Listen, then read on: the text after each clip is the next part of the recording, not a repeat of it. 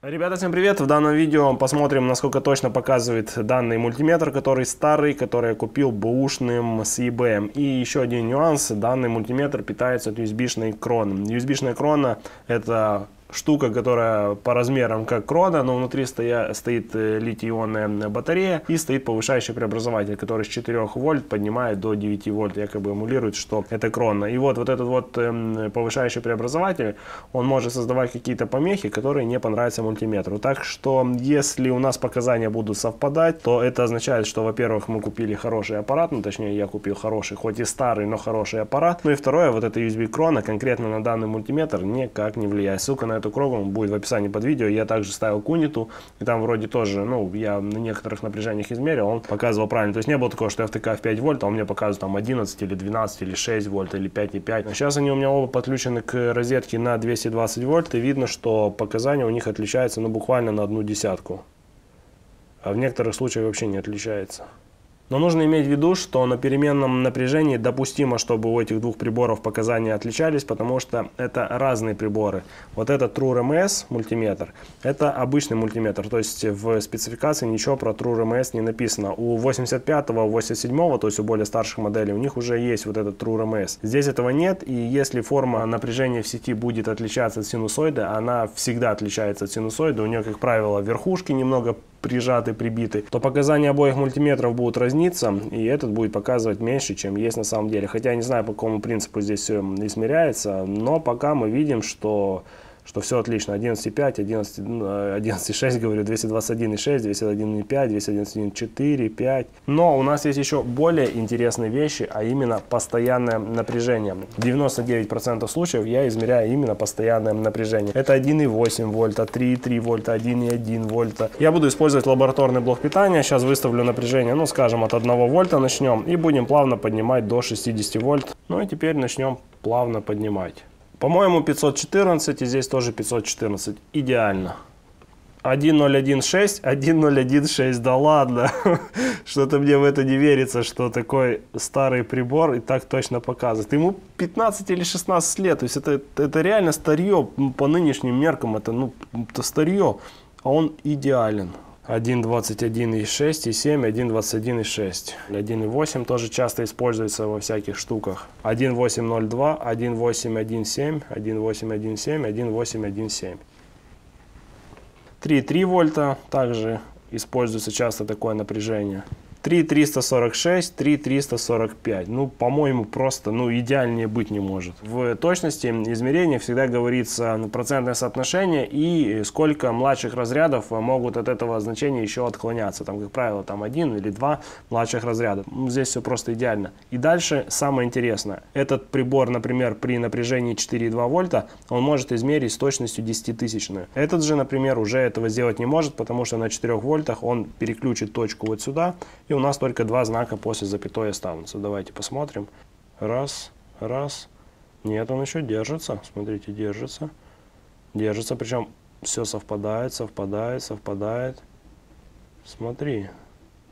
Все, при 4.1 он уже перешел и а, уже всего лишь два разряда после запятой. Давайте переключим, чтобы восторжествовала справедливость. Ну, идеально, все просто, просто идеально. Например, 5 вольт, тоже очень частое напряжение на кренках. 5.06, 5.05, 5.06, здесь 5.05. 12.1 сотая, 12.00. Идеально, просто идеально. Ну, следующее напряжение, наверное, 24 пойдем. 24.13, 24.11. Всего лишь э, две единицы младшего разряда. Ну, по-моему, это идеально. Ну, поехали дальше. Что там, 36 пусть будет. 36,72 реально измеряет флюк. Флюк уже показывает, что это уже опасное напряжение, поэтому я оставлю пинцет и буду немного напрягаться. 36,73, здесь 36,7. То есть 3 единицы младшего разряда. У меня аккумулятор будет на 48 вольт, поэтому ставим 48 вольт 48.04, 48.0. Видно, что у него опять эм, точка перескочила. И сейчас буду спускаться вниз и буду смотреть, при каком напряжении появится два разряда после запятой. Ну, скорее всего, при 30 с чем-то. 36. О, вот сейчас. И на каком напряжении он перейдет. Наверное, на 41 вольт.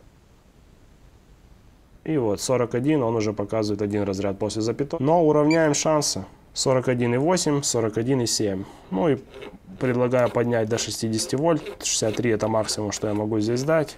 Да, 63,1. Ну, 63,0. Ну, по-моему, все просто идеально и показывает он очень и очень точно. Подключил 2 амперметра последовательно и сейчас буду плавно увеличивать напряжение на выходе. Ток в этой цепи будет потихоньку расти и будем смотреть, так как 2 амперметра включены последовательно, то они должны показывать одинаковый ток, потому что ток в цепи течет всегда одинаковый. Этот показывает э, сотые доли, этот показывает десятитысячные доли. Интересно и странно, но оказалось, что в этом гнезде, если переключить на миллиамперы, он реально показывает миллиамперы. То есть э, в амперах у нас показывается только сотая часть, то есть 460.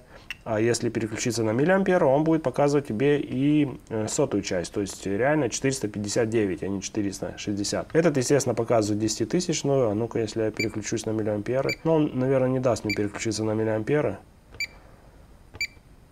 647, 646. Ну, по-моему, все хорошо. 1399, 1397. Две единицы младшего разряда. Разница между ними. По-моему, это идеально. Тут также написано, что при измерении тока больше 5 ампер нужно делать э, измерение не длиннее там нескольких, ну там 15 секунд, кажется, и между ними нужно потом выдерживать паузу несколько минут для того, чтобы шунт остыл. Поэтому, если мы так близко будем подходить, то шунт потихонечку нагреется, и у нас могут немножко э, показания уплывать. 4010, 4008, 010. Ну, по-моему, по-моему, все, все хорошо.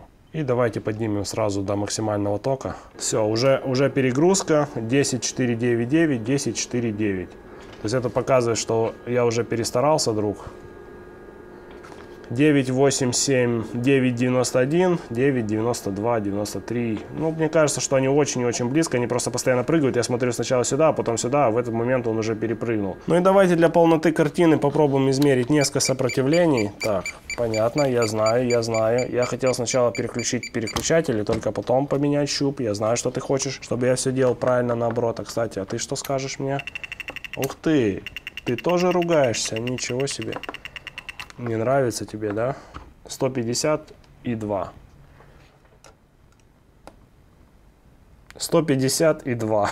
ну, я не знаю, ну, это, это реально старик. Это, ну, я, я бы сказал старье, но, понимаете, я бы сказал старье, если бы я сейчас измерил, он бы мне показал там 30 Ом или 60 Ом. Я сказал, ну, что вы хотите, это старье. Но я его не могу называть старик, понимаете? Его, он, он, все делает точно так же, как и свежий прибор. Поэтому это, это не старье. Ему надо уважительно, дедушка, навык к нему надо.